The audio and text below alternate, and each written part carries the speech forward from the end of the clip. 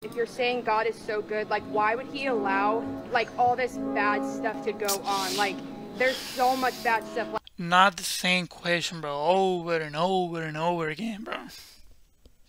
Same question, bro. Same question every single time.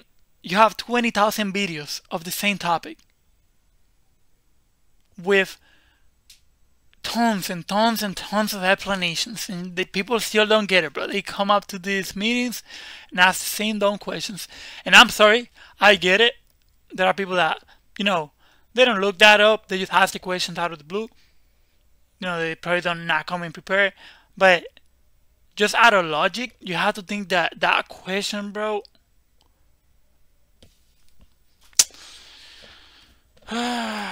Like Go on, rape, Cliff. like kids with cancer, like people dying. Like why would a good God allow all of this to go on? Like how do you explain that?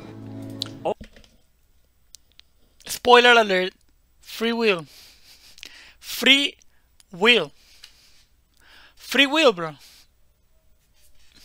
Ultimately, I do not know why God allowed evil and suffering.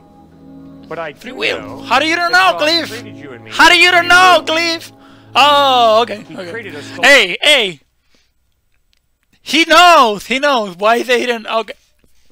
Love Him. And love, in order to Okay. be real, must be free. If it's not free, it's not love. In other words, I'm convinced a computer and a robot cannot love. But you can, I can, Yeah. because we're human beings created with a free will. And anyone is entitled to have their own opinions, have their own way to live their life, have their own actions, have their own whatever. That's it. so, why is there evil? Because people choose to do evil. But God did not create evil. God created us with free will. Right? I think y'all getting where I'm coming from. It's not that hard to understand. That's the reason I'm saying, like, how many times we have to answer the same question, bro?